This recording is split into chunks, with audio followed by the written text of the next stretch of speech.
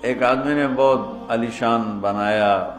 अपना गेट, घर तो मैं उसके साथ जा रहा था तो मुझसे कहने लगा, मौलाना साहब, उत्ते ही वेखो असी तो इतने रुपये ला छड़ तुम वेंदे ही नहीं पे हो। देखो मैंने क्या बनाया तो मुझसे कहने लगा, मौलाना साहब उत्ता वेखो तो मैं कितने पैसे लाए तो की बना देता है? तो मेरे बोलने से ना, पहले खुद ही बोल पे, पर मुसीबत है, मर जावना है, छड़ जावना पर मुसीबत है मर जावना है छड़ जावना मैं कहा हूँ दस तू आपे ही दस देता है मैं वेख के की करना